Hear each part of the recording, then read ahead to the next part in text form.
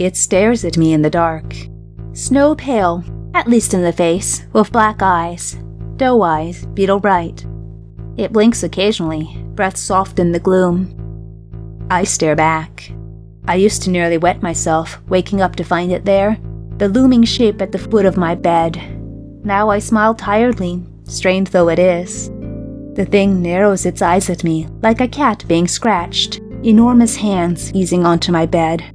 I think it worries about scaring me after those first few nights. Claws arc from its fingers like curved cast iron bars of round cages, so big as to be almost useless, even comical. Cracked and chipped in places, one has been broken off at the tip, the quick inside scabbed over black like the rest of its body. Carefully, I sit up and ease myself over to the edge of my covers, heart pounding, mouth dry, feeling fear despite myself. It keeps still. Maybe it remembers my reaction when it doesn't. It can't help how it looks, I think, my numb and shaking hands moving out to touch its cold, pale face. The black eyes slip closed, and it sighs out through a blunt nose, jaw and throat moving gently under skin I know from experience can peel apart like taffy, lipless and thick. I stroke my thumb over the jut of bone below its left eye, and it twitches its head ever so slightly into my touch. There's a noise from behind me, the bedroom door clicking open of its own accord. At the same moment, the thing turns its head sharply, eyes suddenly wide open and staring with intensity.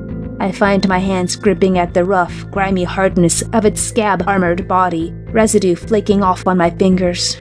I don't want to look. One of its enormous hands closes around me possessively, the hard curve of its thumbnail resting gently against my lower stomach as the others curl around my back. Something at the door gurgles momentarily.